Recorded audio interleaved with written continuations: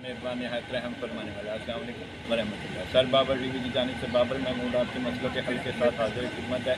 और आज हम पीसी होटल लाहौर कोहे नूर हाल में मौजूद हैं। और आज जो है ब्यूटी एक्सपो है। और ब्यूटी एक्सपो में जो है ब्यूटी की मालूम दी जा रही हैं कि आपने खूबसूरत कैसे होना है। हमने पिछली वीडियो में आपको बताया था कि पानी की कमी को पूरा कैसे कर सकते हैं। तो अब बताएँगे कि जिसम की बैरूनी सफ़ाई का अमल क्या, कैसे करना है। बैरूनी सफ़ाई के लिए हमने मौसमों के हिसाब से जो है ना सर धोने की हमने मालूम हासिल करनी है और जब हमें सर धोने का इलम हो जाएगा और सर धोने के लिए हमें सबसे पहले ये है कि मौसम गर्मा में हमने जो है वो शैम्पू ऑयल फ्री इस्तेमाल करना है और उसमें अर्के गुलाब इस्तेमाल करना है, आधा शैम्पू, आधा अर्के गुलाब। यानी अगर हमारा हेड एंड शोल्डर शैम्पू है मैंथोल या पुदीने वाला और उसके बाद नीम वाला, यानी ये दोनों शैम्पू में से कोई एक शैम्पू है, आधा शैम्पू और आधा अर्के गुलाब मिक्स करके एक गुसल में तीन बार आप जब बालों को धोएँगे पसीने के हिसाब से, यानी अगर पसीना ज़्यादा आता है तो आपने सुबह शाम